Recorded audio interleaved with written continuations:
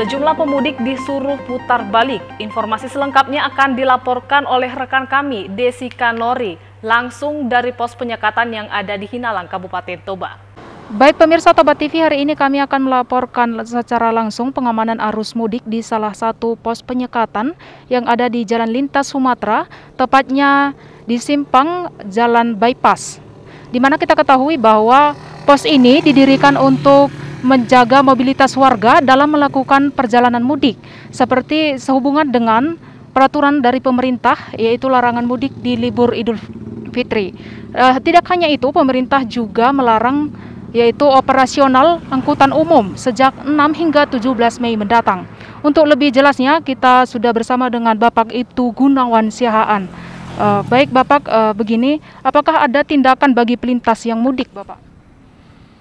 Tindakan pelintas yang mudik ya baik kendaraan roda 2 roda 4 apabila memang dia tidak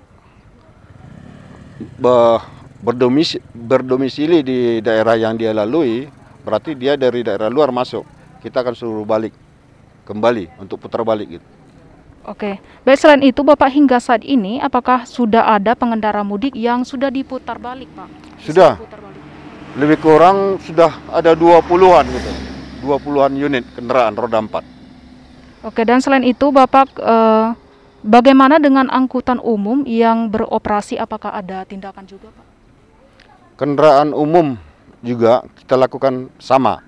Namun saat ini eh, sekitar 5 unit sudah ada tadi, 5 unit. Kita putar balik. Oke baik Pak, uh, selama ini para sopir angkutan umum meminta agar pemerintah juga menghentikan operasional angkutan travel dan juga angkutan lain yang berplat hitam. Bagaimana tindakan petugas untuk itu Pak? Ya, uh, travel yang berplat hitam itu sama saja memang dengan kendaraan pribadi yang lewat juga. Intinya dia dari luar wilayah memasuki wilayah Toba ini sama, sama hukumnya.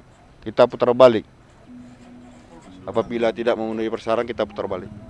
Ya, baik Bapak uh, yang terakhir nih Pak. Bagi pengendara yang membawa surat keterangan atau surat hasil swab, apakah diperbolehkan untuk melakukan melanjutkan perjalanannya, Pak?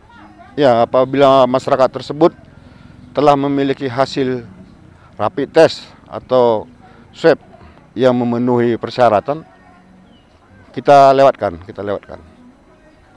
Oke, baik pemirsa, demikian laporan kami tadi. Saya Desi Kanori bersama kerabat kerja yaitu kru Toba TV yang bertugas kembali ke studio. Terima kasih.